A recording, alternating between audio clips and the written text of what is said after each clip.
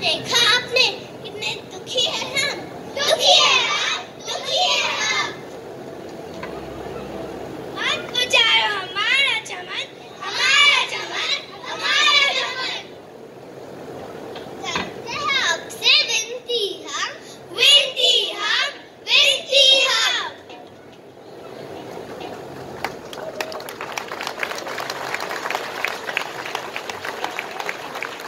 There is so much that each of us can contribute for the good of the other.